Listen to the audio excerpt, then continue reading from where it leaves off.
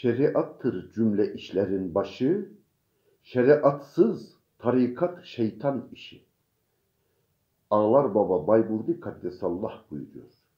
Kardeşlerim, mümin her hali ile şeriat çizgisinde olmalıdır.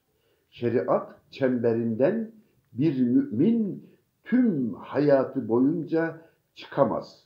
Çıkarsa ya haramiyet işlemiş olur veyahut da inkar yoluna gider. Dolayısıyla tüm hayatımızı İslam şeriatının dışında tanımlayamayız. Dolayısıyla tarikatın da elbette ki şeriata uygunluk göstermesi gerekir.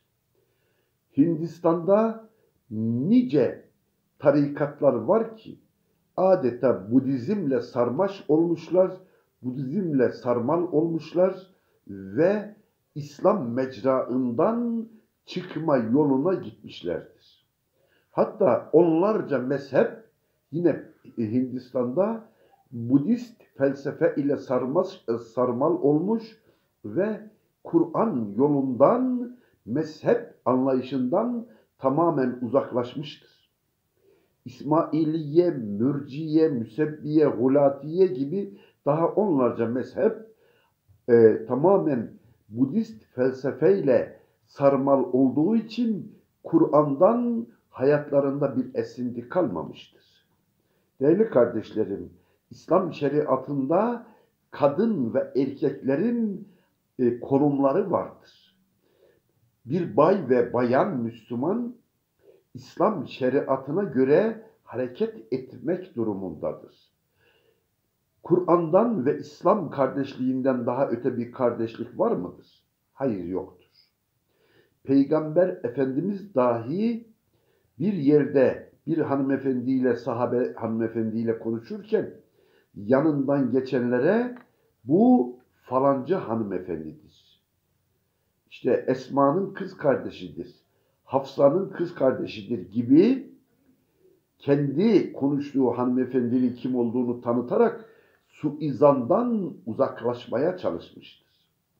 Şu anda birçok tarikat kadın ve erkek ilişkilerinden dolayı suizan kokmaktadırlar. Hatta onlarla aynı yan yana zikir yaparak şer yolu takip etmektedirler. Dolayısıyla kardeşlerim, İslam şeriatı olmadan tarikat e, yol alamaz. Tarikat yolu dediğimiz şey de aslında şeytan aleyhillanenin çizdiği sahte bir yoldur.